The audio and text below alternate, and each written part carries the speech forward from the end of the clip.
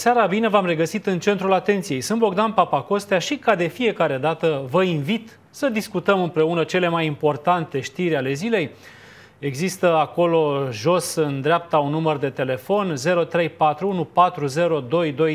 Folosiți-l cu încredere pentru a vă face auzită vocea.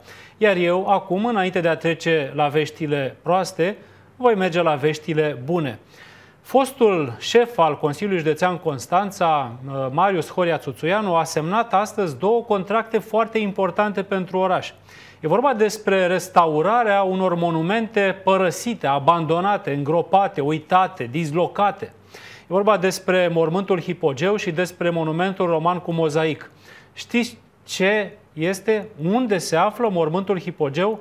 Ei bine, așa cum dumneavoastră nu știți, nu știu foarte mulți dintre constanțeni, deși acest monument, acest mormânt aflat sub pământ, hipogeu, este probabil una dintre cele mai importante comori ale orașului Constanța. La fel și uh, monumentul uh, roman cu mozaic, uh, mai cunoscut este adevărat, pentru că într-o vreme a fost pus în valoare, după care, desigur, și asupra lui s-a abătut urgia. Iată însă că domnul Țuțuianu dă vești foarte bune la finalul mandatului său, pentru că a semnat, din fericire, uh, niște contracte semnificative pentru punerea în funcțiune, pentru refacerea, pentru renovarea, dacă se poate spune așa, a acestor monumente importante. Știrea de pe tomisnews.ro sună în felul următor și sperăm că nu este o păcăleală. Președintele CJ Constanța Marius Horia Țuțuianu se pregătește să predea mandatul președintelui ales Mihai Lupu din partea PNL. Aflat în ultimele zile în această funcție, Țuțuianu a anunțat că a semnat contractele de finanțare pentru două obiective de importanță culturală, istorică și turistică din Constanța, edificiul roman cu mozaic și mormântul pictat hipogeu. Îi rog pe colegii mei să vă prezinte câteva imagini luate acum multe vreme din mormântul hipogeu, pentru că trebuie să vedeți și dumneavoastră cât este de frumos acest loc. Uh, nu, nu imaginea asta, de aici înainte. Uh, este vorba de un uh, mormânt pictat din secolul al IV-lea, plin de simbolistică creștină, imagini extraordinare. Acolo vedeți o potârniche, nu se știe exact ce simbolizează ea și cu siguranță nu este doar decorativă acolo. Așadar, niște imagini extraordinare Uh, acolo vedem păuni, probabil, uh, un iepure, uh, simboluri ale Euharistiei, adică ale mesei creștine. Iată acolo o imagine care, sigur, vă este familiară, o imagine a împărtășaniei, propriu-zis, dar este o pictură care datează, deci, aproximativ din secolul al IV-lea, o pictură din perioada în care încă simbolismul era foarte puternic în creștinism. Așadar, stimați respectatori, aceste imagini nu provin dintr-o catacombă romană. Ele se află în Constanța, uh, un monument uitat de politicieni, uitat de oameni, uitat de toți și uh, care se află într-o îndrăznesc să spun într-o stare avansată de degradare, cel puțin în jurul lui este o adevărată boschetărie. Um, și dacă nu știți unde se află, vă spun eu așa cu aproximație, în zona modern, sub cârciuma celebră din zonă, mai, mult mai celebră decât mormântul Hipogeu, dar nu-i mai spun numele acum. În timp ce aceste imagini rulează, eu am să vă citesc uh, și comunicatul de presă al lui Horia Țuțuianu. Astăzi a însemnat două contracte de proiectare și execuție lucrări deosebit de importante pentru cultura și patrimoniul istoric al județului. Este vorba de două proiecte de suflet pentru mine și constanțeni, salvarea și punerea în valoare a mormântului pictat hipogeu și restaurarea, conservarea, amenajarea și punerea în valoare a edificiului roman cu mozaic, pentru mormântul hipogeu sunt alocați 4.413.000 lei fără TVA, adică aproximativ 1 milion de euro. Pentru mozaic, 9.869.677 de lei fără TVA. Ambele au durată de execuție 24 de luni. Fiecare, în viața fie, oricărei comunități, cultura este la fel de importantă precum educația sau sănătatea. Am doresc ca în cel mai scurt timp să avem aceste două obiective culturale istorice restaurate, conservate, puse în valoare. Odată cu finalizarea lucrărilor vom reda circuitului turistic monumente ce reprezintă o parte a istoriei acestor locuri. Constanțenii și cei care ne vizitează merită să aibă acces la moștenirea lăsată de înaintașii noștri. Mulțumesc colegilor mei din cadrul Consiliului Județean Constanța, alături de care în toți acești ani, etc., etc. Bravo, Horia Țuțuianu! Uh, a meritat uh, mandatul de câți ani a fost, măcar pentru aceste două contracte semnate pe ultima sută de metri. Bravo, aplauze sincere, felicitări sincere lui uh, Țuțuianu, echipei sale, pentru că aceste monumente aflate în paragină de atât de multă vreme meritau atenție, acest gen de atenție care să le repună în circuit și care să ne arate nouă constanțenilor că nu suntem chiar niște pieri de vară fără niciun fel de identitate pe aici, pe malul mării, că avem o istorie cu care putem să ne mândrim, o istorie la care putem să ne raportăm, o istorie care ne aparține, dar pe care, din păcate, nu reușim parcă să o asimilăm. Adică dăm senzația că suntem uh, pe aici realmente fără rădăcini, deși rădăcinile locului deci sunt atât mai ales atât de frumoase. Astea sunt monumente pe care orice altă țară le-ar folosi din plin. Nu mă refer doar la o comunitate, cum e cea constanțeană, nu. Orice țară le-ar folosi din plin și aici probabil ar trebui să înceapă să vină, nu exagerez, vapoare cu turiști care să viziteze monumentele uh, respective. Suntem încă departe de această ipoteză, dar, stimați respectatori, poate că ăsta este primul pas pentru a vedea îndeplinită acest obiectiv desigur, acela de a arăta, de a ne arăta nouă înșine, dar și lumii, cât de frumoși putem să fim noi constanțenii. Și mai ales că avem cu ce să ne mândrim, avem ce să arătăm. Bine, vom discuta și despre turismul din Delta, care pe lângă bani aduce la pachet și foarte multă poluare, dar până acolo să trecem la, da, veștile proaste, stimați telespectatori. Restaurantele, cafenelele, teatrele și cinematografele din capitală se vor închide, la fel și sălile de spectacole și saloanele în care se organizează evenimente, iar purtarea măștii va fi obligatorie între orele 7.45, 21 și 15 în zona școlilor, a anunțat în această seară prefectul capitalei Gheorghe Cojan. Este o veste proastă pentru o industrie întreagă, e o veste proastă pentru bucureșteni și se prefigurează a fi o veste proastă și pentru noi constanțenii, că și noi suntem în zona de risc cu acel număr de îmbolnăviri, cu acea, acel procent de 1,5 uh, răspândire a bolii la mii de locuitori. Um, vă spuneam o lovitură puternică pentru cei din industria Horeca, dacă au rezistat cum au rezistat până în acest moment, de acum înainte obligați să rămână doar cu terasele deocamdată, cei cu restaurante și birturi probabil se vor confrunta cu uh, falimentul și nu este de glumit cu acest subiect, uh, dar trebuie să spunem, și nici asta nu este o veste bună, păcănelele rămân deschise. Ei bine, da, dacă sălile de spectacole se închid, păcănelele rămân deschise, probabil că merităm acest tip de uh, măsură. Om rezista noi fără cârciumi, om rezista și fără săli de cinematograf și de teatru deschise, dar fără păcănele s-ar putea să intre mulți dintre noi în sevraj, așa că ele rămân deschise. Restaurantele și cafenelele din interiorul unităților de cazare vor putea funcționa pentru clienții cazați acolo. Iată, deci o măsură parțial bună. Prefectul a precizat că aceste restricții intră în vigoare de miercuri și rămân valabile până când rata de incidență a cazurilor COVID-19 la mie de locuitori scade sub 1,5, el spunând că situația va fi analizată săptămânal. Cojan a mai spus că sunt luate în calcul și alte restricții dacă rata de infectare nu scade. El a spus că dacă rata de infectare va depăși 3 la mii de locuitori, atunci se poate ajunge și la carantinarea unor zone. Legat de obligativitatea purtării măștii de protecție pe o rază de 100 de metri în jurul unităților de învățământ, va trebui să umblați cu harta în mână, stimați de respectatori, pentru că poate nu știți unde este școala și s-ar putea să vă treziți cu o amendă consistentă. Așadar, uh, a spus că primăria capitalei și primăriile de sector vor avea obligația să delimiteze aceste zone. Sperăm că nu cu o bandă galbenă. Deciziile au fost luate de Comitetul Municipiului București pentru situații de urgență, care s-a întrunit marți seară pentru a decide ce restricții vor fi impuse în capitală în contextul creșterii numărului de cazuri de COVID-19. Cu această ocazie s-a anunțat și că nu mai este voie în pelerinaj la Cuvioasa Parascheva. În acest moment se pregăteau pentru o plecare masivă înspre Iași foarte mulți români și, desigur, dobrogeni. Acum însă nu mai este posibil. Vor putea merge să se închine la Sfintele Moaște doar ieșenii.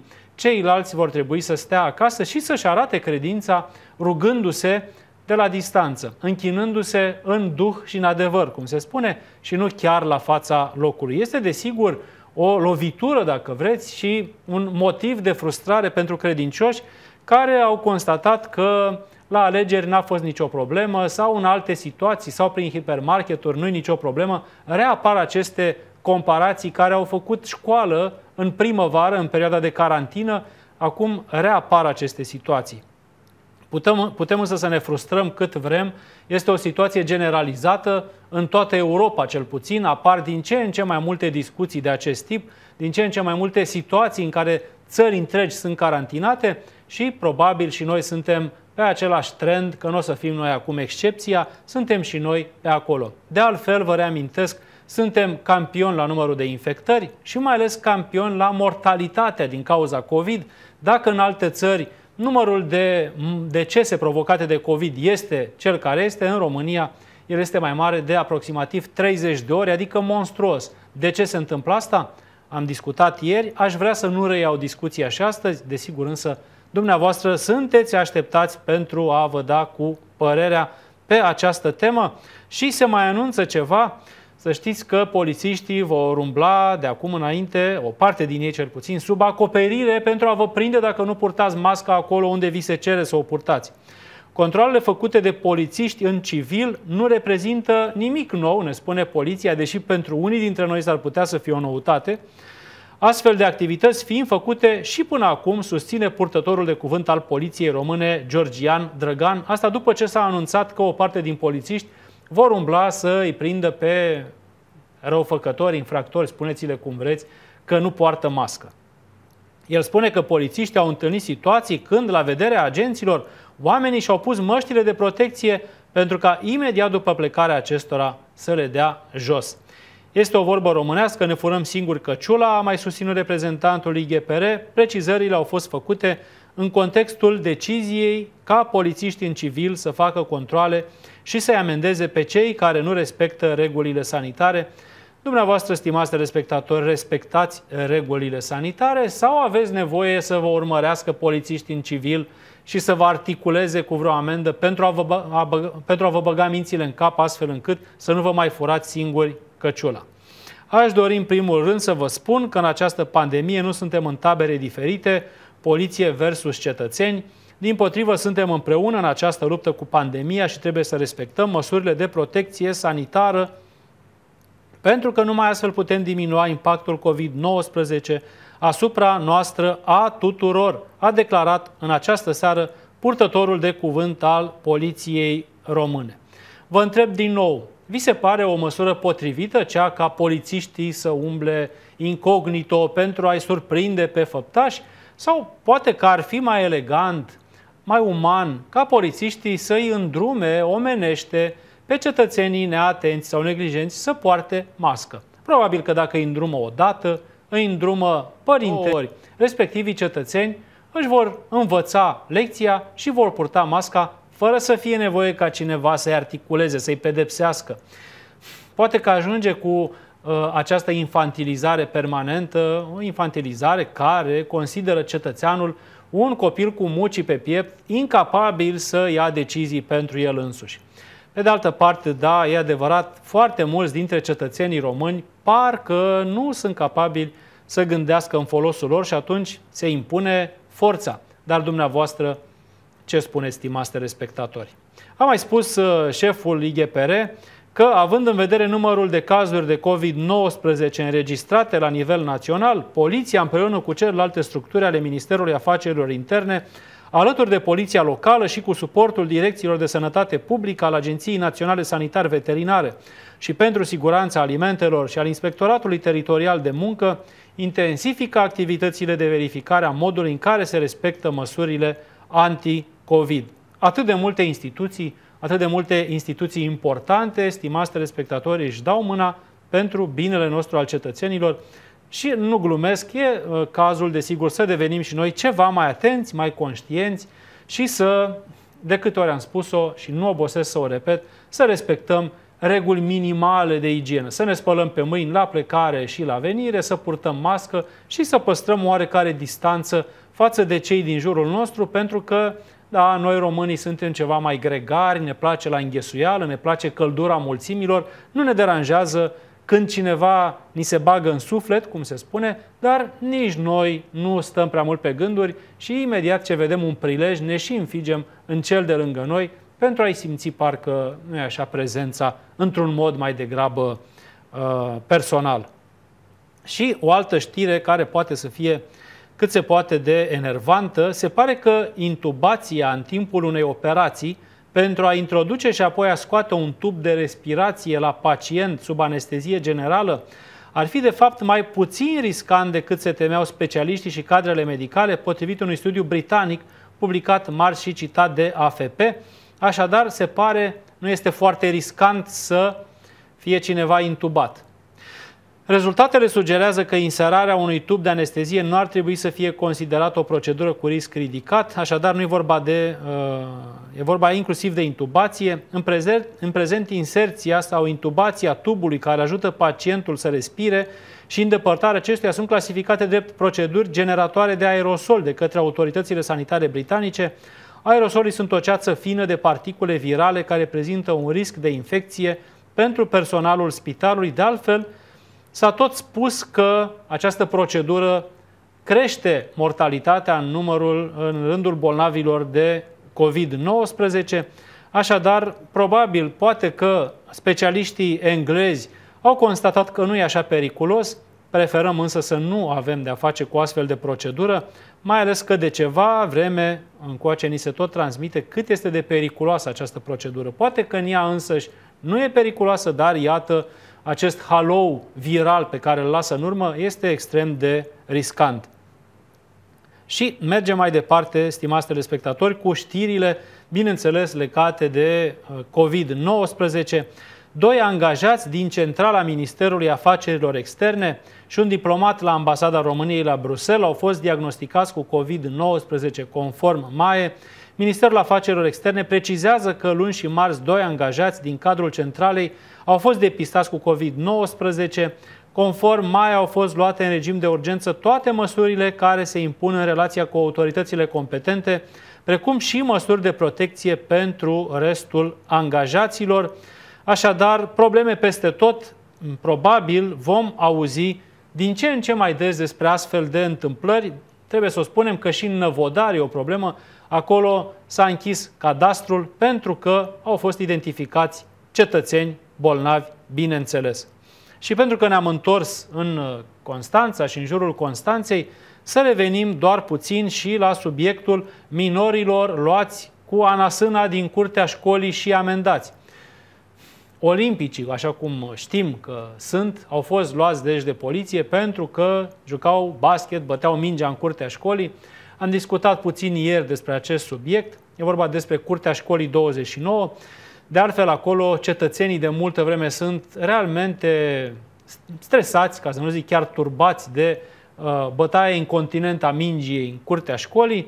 Uh, opinia publică nu este de partea cetățenilor, dar cineva trebuie să spună și asta. Gălăgia de acolo este permanentă, acolo nu se joacă doar niște olimpici care, apropo, nu bat mingea mai încet decât uh, unii care au rămas corigenți la geografie, bat mingea la fel de tare, iar acolo nu este doar o trupă de băieți, acolo sunt trupe nenumărate de băieți și fete mai mari și mai mici, care, desigur, fac sport așa cum știu și nu sunt deloc discreți. Cei din prejur, pentru că blocurile sunt foarte aproape, sunt la câțiva metri de curtea școlii, au de suferit pentru că acolo se face gălăgie foarte mare. Nu există o soluție în acest moment, sunt sigur. Poate că cineva mai creativ ar putea să gândească la panouri care să izoleze fonic acea zonă, adică niște panouri care să le permită cetățenilor, locuitorilor din zonă să uh, primească șocul sunetelor atenuat. Dar Corpul de Control al Ministrului de Interne, Marcel Vela, se află la Constanța pentru o verificare legată de cazul minorilor conduși la secție. Ce frumos sună conduși la secție, parcă ar fi fost conduși la vals. Au fost luați cu duba și amendați pentru că făceau gălăgie în curtea unei școli din Constanța, cazul care a suscitat emoție în rândul constanțenilor se află și în cercetarea conducerii Inspectoratului Județean de Poliție Constanța. În foarte scurt timp va fi oferită o concluzie dacă oamenii legii de la secția 2 au acționat corect sau nu. Cei de la Focus Press uh, au aflat rezultatul preliminar al verificării, atât al IPJ cât și al Corpului de Control MAI. Polițiștii au acționat conform legii și cu respectarea procedurilor, au precizat surse din cadrul MAI. Așadar, stimați respectatori, uh, vă rog frumos să nu vă bucurați degeaba că vor fi pedepsiți polițiștii, nu vor fi pedepsiți și nici nu trebuie să-i pedepsească cineva, pentru că ei nu au făcut decât să răspundă la nenumăratele reclamații ale locuitorilor din zonă, reclamații care, desigur, sunt justificate. Poate că procedura sau procedeul aplicat de uh, polițiști a fost mai uh, strident decât era cazul. Poate că, așa cum este cazul măștilor uh, sau al celor care nu poartă mască și pe care polițiștii în civil îi amendează, îi prind și îi amendează, poate că așa cum acolo e nevoie de o formă de umanitate a organului de poliție și aici ar fi fost cu siguranță nevoie de o abordare umană a situației. Dar dacă organul cu chipiul tras pe breton uh, nu știe decât să aplice procedura pentru că așa e procedura, iată, rezultă și astfel de situații. Probabil că o infuzie de umanitate, ca să nu zic și de alte calități, în rândul polițiștilor ar fi chiar binevenită. Așadar, aici nu este vorba despre lege, respectarea legii și a procedurii, e vorba despre felul în care polițiștii înțeleg să acționeze. Și în această situație nu au acționat potrivit. Medicii constanțeni, mergem mai departe, medicii constanțeni și-au ales zilele acestea reprezentanții și supleanții pentru Consiliul Județean Constanța al Colegiului Medicilor pentru adunarea generală națională a Colegiului Medicilor și pentru Comisia Locală de Cenzori, rezultatele turului al doilea de scrutin pentru mandatul 2020-2024, împreună cu toate celelalte documente privind desfășurarea celui de-al doilea tur de scrutin, au fost înaintate pentru validarea alegerilor către Comisia Electorală Centrală. Așadar, credeți că numai noi, ceilalți, avem probleme? Iată și medicii au probleme, fac alegeri, se aleg, probabil că lucrurile sunt foarte serioase la acest nivel deși nu știm care este până la urmă uh, beneficiul pentru sănătatea publică al acestor uh, alegeri. Uh, și la primăria Năvodari, să o spunem și pe asta, s-a asistat activitatea la serviciul de taxe și impozite după ce un angajat a fost confirmat cu COVID-19. Acolo este și anchetă epidemiologică. Primăria a decis sistarea activității cu publicul a serviciului de taxe și impozite începând de miercuri 6 octombrie, urmarea confirmării infectării cu COVID-19 a unui angajat. O spun din nou, probabil că astfel de cazuri se vor înmulți, vor, vom auzi din ce în ce mai des de așa ceva. Ar fi însă, desigur, minunat ca activitatea statului, dar activitatea în general să nu se blocheze și cumva, într-un fel sau altul, să continue. De altfel, Poate, nu vă spun un secret, sunt instituții în uh, această țară unde bolnavul identificat ca atare de COVID-19 merge la serviciu. Senin, poartă mască, desigur, dar merge la serviciu. Nu e izolat, nu se oprește activitatea, nu se întâmplă nimic, nu bate nimeni toba. Sunt astfel de instituții. Nu sunt instituții publice, nu sunt instituții ale statului. Sunt niște locuri unde dumneavoastră mergeți destul de des, dar nu vă spun unde, rămâne secret. Și o ultimă știre înainte de pauză, vă anunț și că după pauză vom vedea împreună un documentar recorder în care vom afla ce au făcut la alegeri primarii care au apărut de-a lungul vremii în alte documentare Recorder. Așadar, ultima știre a acestei părți din emisiune, plus Constanța și-a ales candidații la alegerile parlamentare. Pentru că nu trebuie să uităm, în curând vin alegerile parlamentare. La începutul lui decembrie, cam de Sfântul Nicolae, avem alegeri și ne pregătim pentru asta. Deja se strâng semnături, deja se intră într-un fel de campanie, precampanie electorală. Și iată o știre cam din această categorie, plus Constanța și-a ales candidații la alegerile parlamentare. Luni, 5 octombrie, la ora 21 s-a încheiat procesul democratic intern pentru desemnarea candidaților plus la alegerile parlamentare de anul acesta, ca prima etapă în stabilirea listelor comune ale Alianței USR plus Constanța pentru Camera Deputaților și Senat. În această primă etapă, membrii filialei județene plus Constanța au votat online lista candidaților înscriși în competiție. Eu vi citesc acum, poate că îi cunoașteți. Doina Moțiu, Cristina Rizea, Iulian Călin, Sorin Andrei și Cristian Florin Stoian. Fiecare membru cu drept de vot din filiala Constanța a putut acorda încrederea sa unuia dintre cei cinci candidați. Participarea la procesul electoral a fost de 84% dintre membrii cu drept de vot ai filialei, în urma votului liber exprimat al membrilor plus Constanța. Pe locul întâi a fost aleasă Cristina Arizea, pe locul 2 Sorin Andrei, iar locurile 3, 4 și 5 au fost ocupate de Cristian Florin Stoian, Iulian Călin și Doina Moțiu. Desigur, le urăm succes în alegeri. Mai e până acolo, nu mai e mult până acolo. Mă întreb, până acolo se va închide țara sau imediat după aceea de a doua zi? Pentru că același fenomen a fost văzut și la aceste alegeri. Până la alegeri, focul a fost mic, focul știrilor a fost mic, e bine, după alegeri deodată au apărut N restricții, se închid cârciumi, nu se închid păcănele, nu mai e voie la moaștere cu vioasei Parascheva, nu mai e voie în jurul bisericilor, nu mai e voie multe lucruri. Mă întreb cum se va raporta autoritatea de stat la alegeri. Le va amâna? Se pune și această problemă? Probabil nu însă. Luăm acum o scurtă pauză, revenim foarte repede, rămâneți aproape.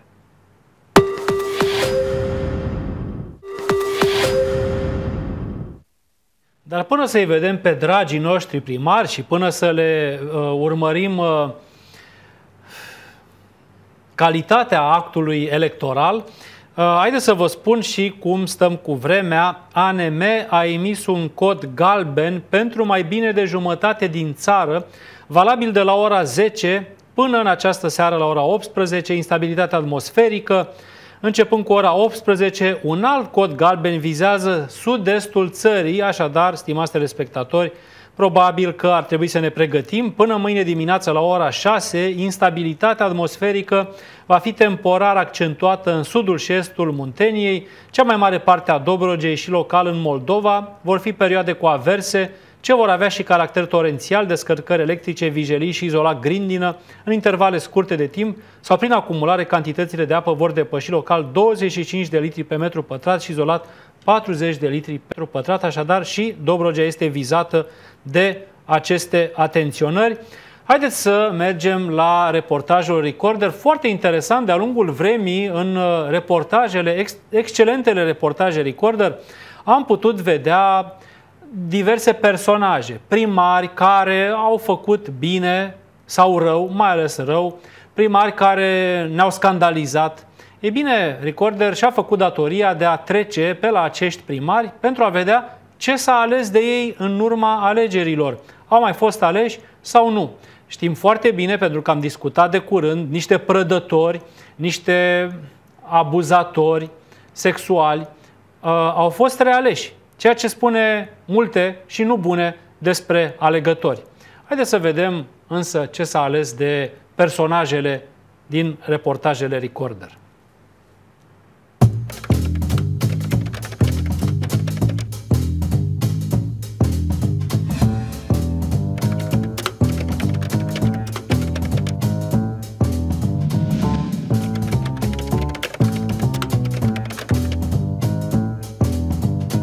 Uitați-vă, ăsta e asfaltul pe care l-ați turnat dumneavoastră prin Programul Național de Dezvoltare Locală.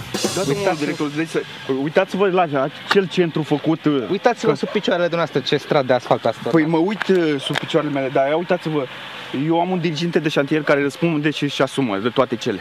Eu nu sunt uh, responsabil pentru toate. Păi și dumneavoastră n-ați văzut situația asta până acum? Păi am văzut-o, dar aici trebuie, este o burdușeală, cum au fost uh, și celelalte, trebuie reparat aici. Deci s-au făcut niște burdușeli. Una e să o ia la vale, alta e să vină o burdușeală cum... Și pe drumul județean, dacă vă uitați dumneavoastră, apar burdușelele astea. Ce sunt burdușelele? Deci asfaltul să umflă, eu știu, se întâmplă ceva acolo. Ce? O infiltrație de apă, de ceva, datorită ploilor. În momentul în care se toarnă asfaltul, călcâiul de la pantof, dacă nu intră călcâiul, atunci este făcut calitativ acest asfalt. Deci călcâiul de la pantof trebuie să nu, nu intre în, în jos, în fundație. Și la dumneavoastră cum a fost? Cred că așa a fost. Am urmărit această lucrare și cu călcâiul de la pantof am încercat ca să nu intre, să se ducă în jos, să undeze.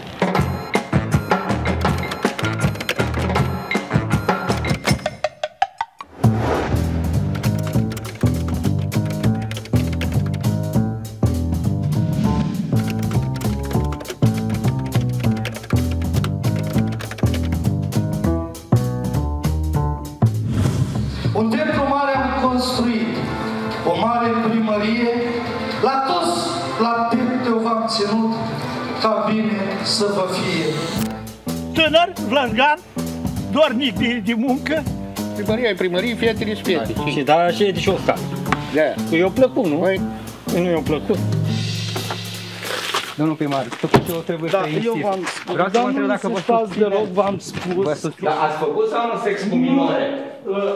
A, păi, Deci nu vreți nu să... mai insistați, vă rog frumos.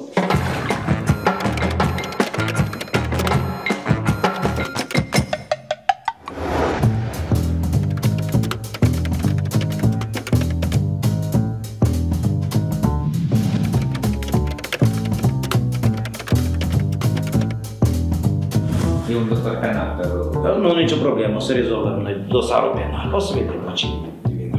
Da? Da. Auzi, nu m-a luat pe mine cu vorbe de astea securiste, te rog. Adică nu mă luați ție tot să mă învăț așa, să mă îmbărți. Am făcut armata de securitate și mă discut cu tine. Mă discut, ești un pic obraznic, să mai spus, hai, gata. Da, da, da, am- da, ca să spun pentru tine, ca să știi așa, am fost, am, am avut o de, de, de, de șantier și am băut 50 de grame de coniac, că nu miroase rău alcool, 50 de grame am băut. Da? Da.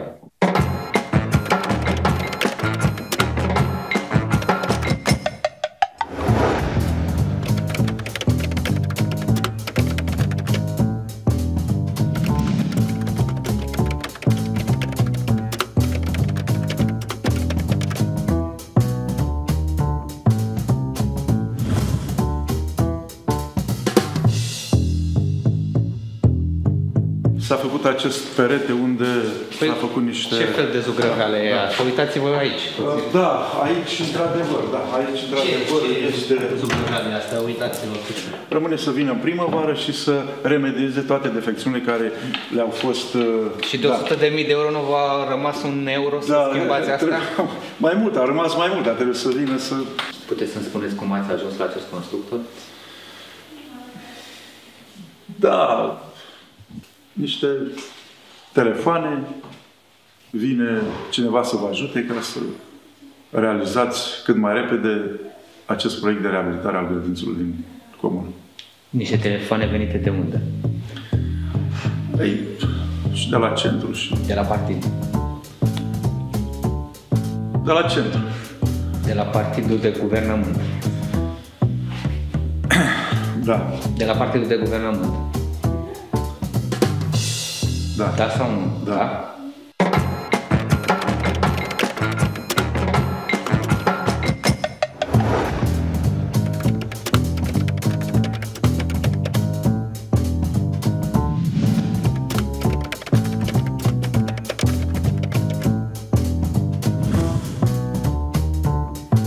Acesta este un drum modernizat prin Programul Național de Dezvoltare Locală? Da, PNDL 1. E modernizat? Da, așa se numește modernizat. Păi ce ați modernizat? Ce e asta? Asfalt. Asfalt? Alt. Așa arată asfalt? Da. Ce grosime trebuia să aibă asfaltul aici? 6 cm. 6 cm? Da. Haideți să vedem cât are. 3 2 cm jumate. 3. 3. Da, jumate cum ar veni. Da. De ce toată spoiala asta? Deci v-am repet iar încă o dată, pentru de ce, deoarece constructorul uh, încă și-a luat, și-a luat și angajamentul, a zis că va turna al doilea strat.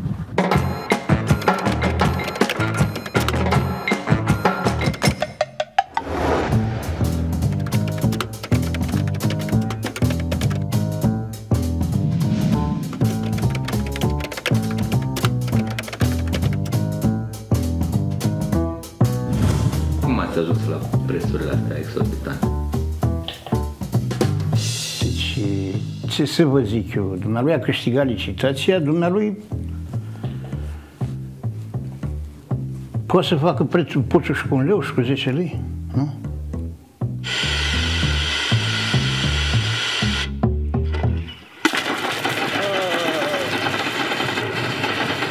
Ferească Sfântul, uite ce apă. Această investiție pentru localitate este foarte importantă datorită faptului că mm, a aduce oamenilor uh, în curțile dumnealor uh, apă pentru nevoile necesare. În sensul de a beneficia de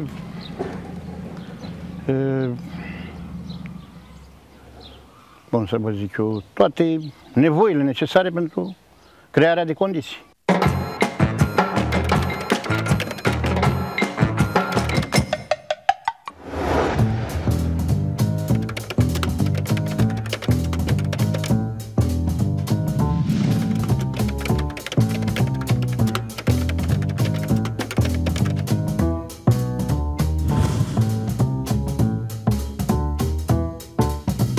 Manopera e undeva la 20 de bani pe metru liniar. Dacă un muncitor v-ar cere 120 de lei pentru a desface un metru din această rolă ca manoperă, cum vi s-ar părea prețul ăsta? Extraordinar de mare. 120 de lei pentru da. metru. Deci dacă am făcut 3 metri, deja Extra, am, da, extraordinar deja de am mare. uh, 100 de euro. Dacă mă duc cu rola asta până în capătul satului, vă, vă termin bugetul local. E, e corectă. Calculul e corect, așa este. Știți ce se întâmplă? Acești bani ați acceptat dumneavoastră să-i plătiți în ofertă. Această manoperă Da, exorbitantă. așa, așa este proiectul făcut. O- Să plătiți 120 de lei ca cineva să întindă un metru din această bandă, mi se E pare o groaznic, e posibil hoție. să... Da, dacă este așa, este. O hoție. Dumneavoastră ați băut apă din rețea? Da, am băut apă din rețea. Mai beți? Uh, da. Păi de acum să nu beau, dar uh, nu facem un uh, reportaj, deci se beau apă, da. Haideți nu trebuie să să, vedem. vedeți dumneavoastră că beau eu apă, Nu? da? O beți pe ascuns sau cum? Eh, o beau pe ascuns.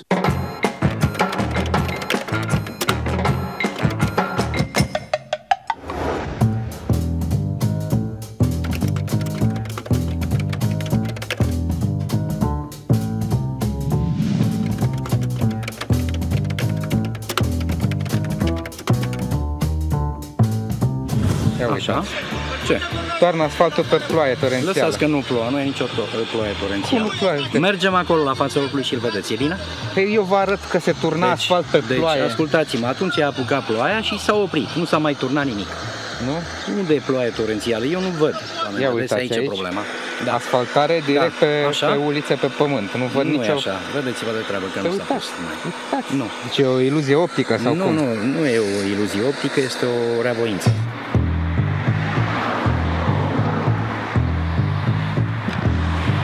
Oricum nu voi semna eu nimica. Nici la recepții, da. nici la... Dar de Pentru ce? că sunt prietenii lui domn primar. Cine? Constructorul? Da, sigur că da. Da? Da. Ia uitați ce zice. Vorbește Cum faci un prieten cu o prostii. firmă de Hai, construcții? vorbește prostii.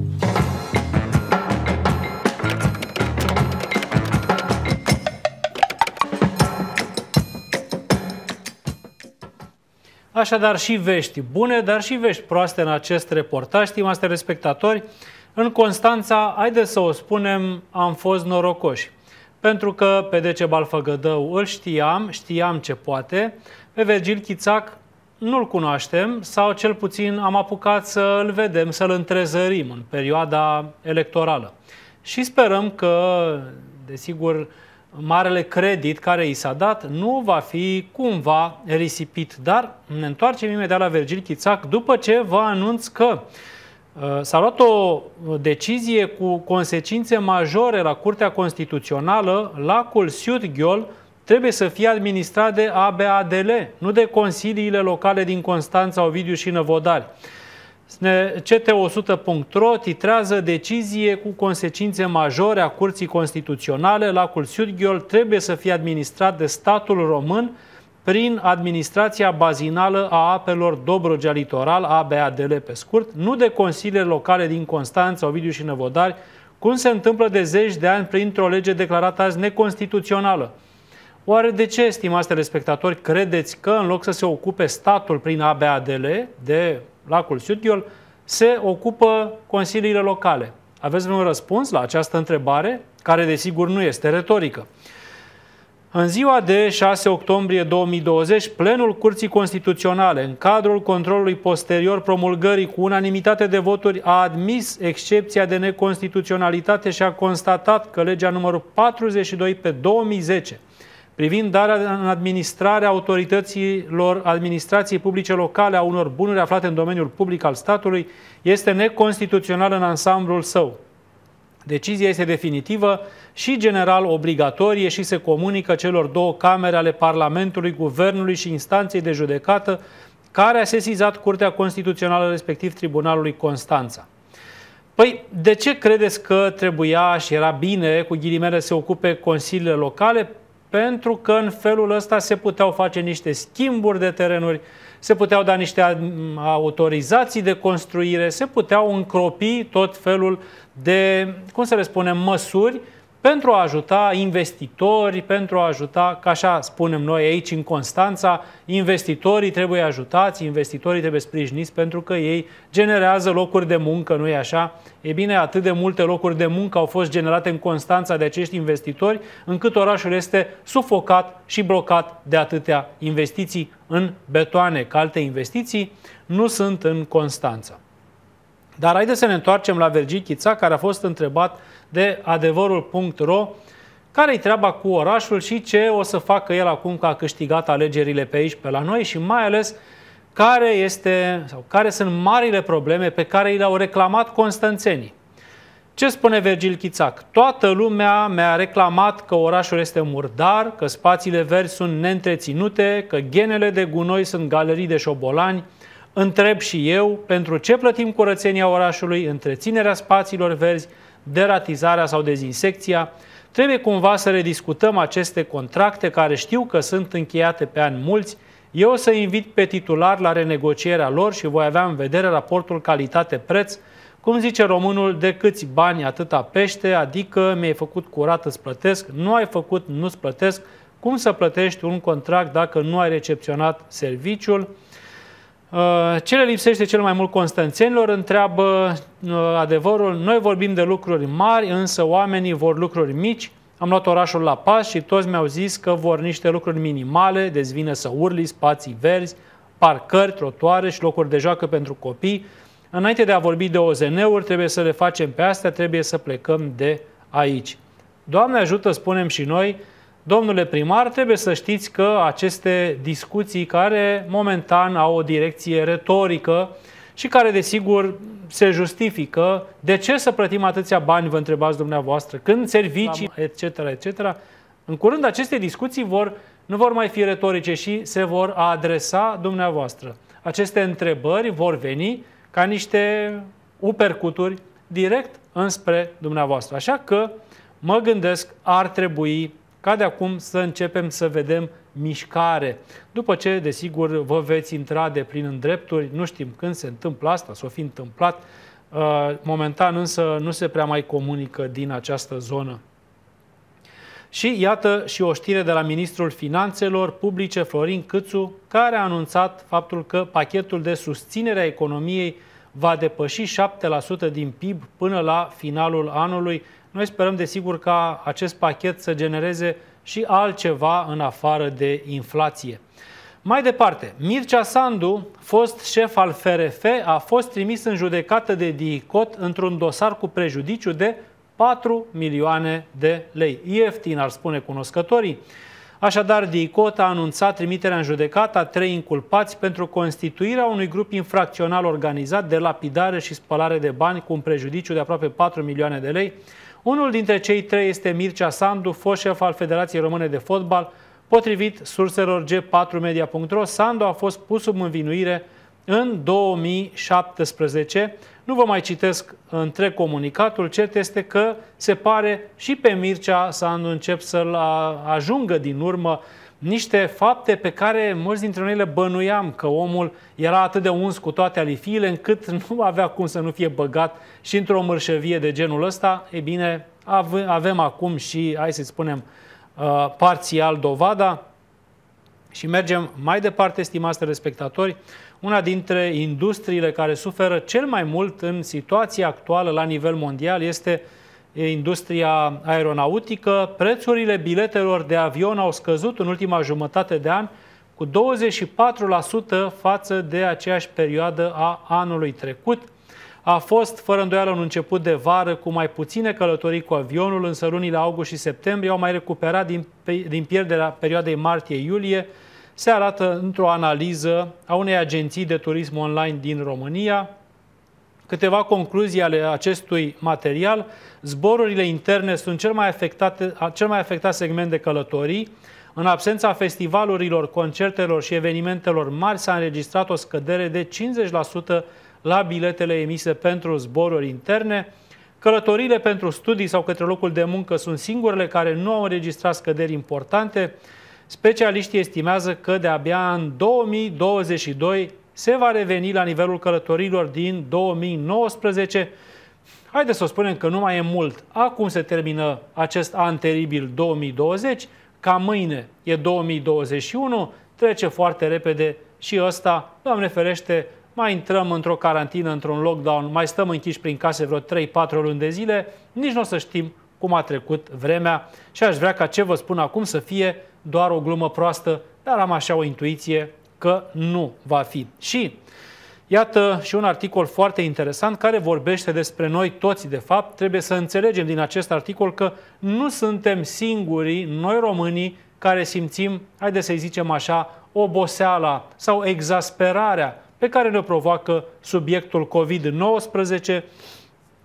Organizația Mondială a Sănătății din Europa a făcut apel astăzi la guverne să combată, cu ghilimele de rigoare, oboseala tot mai mare a populației în fața pandemiei de coronavirus și a restricțiilor introduse, scrie Agerpres.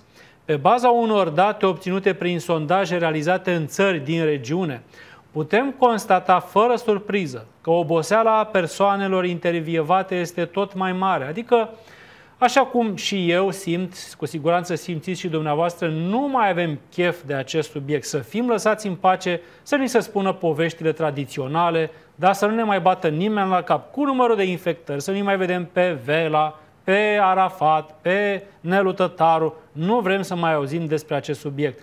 Pe bună dreptate. Iată însă că Organizația Mondială a Sănătății avertizează guvernele să ne mai trezească pentru că acest tip de oboseală nu ne face bine. Această oboseală a ajuns în prezent estimativ la peste 60% în unele cazuri, a precizat într-un comunicat directorul filialei din Europa Organizației Mondiale a Sănătății, Hans Kluge, care a mai spus că populația a făcut sacrificii imense în ultimele 8 luni de la primele cazuri de COVID-19 depistate. Costul a fost extraordinar și ne-a epuizat pe toți, indiferent unde trăim și ce facem în astfel de circunstanțe, este ușor și firesc să te simți apatic și demotivat, a scris el. Pentru a contracara această oboseală, autoritățile trebuie să asculte populația și să conceapă împreună cu ea reacțiile pentru a continua lupta împotriva pandemiei de coronavirus, ale cărei niveluri de transmitere rămân ridicate în Europa. Trebuie să răspundem la nevoile noastre prin mijloace noi și inovatoare, să fim creativi și curajoși pentru a reuși, a spus Kluge. El a invocat, de exemplu, ca exemplu, o municipalitate daneză care i-a tras pe studenți în introducerea unui nou protocol de primire care să respecte exigențele sanitare la reluarea anului universitar. Zona Europa a Organizației Mondiale a Sănătății, care cuprinde 53 de țări, între care și Rusia, numără peste 6,2 milioane cazuri oficiale și aproape 241.000 de decese legate de coronavirus, conform sistemului de monitorizare al organizației. Acum mă gândesc dacă nu cumva ar trebui ca guvernul să discute cu niște influenceri, influenceri, cum s-or mai numi ei, și să îi pună pe ăștia să ne arate cât de cool, cât de trend este să te speli pe mâini, să porți mască, să eviți aglomerația și, în general, să respecti regulile când vine vorba de COVID-19. Cred că nu mai e mult până la acest tip de măsură creativă. Dar, stimați telespectatori, mulțumindu-vă pentru atenția cu care ați urmărit și această ediție în centrul atenției. Vă spun la revedere, rămâneți cu Dobrogea TV și, desigur, ne revedem curând la ora 20, ca în fiecare seară. Cele bune, la revedere!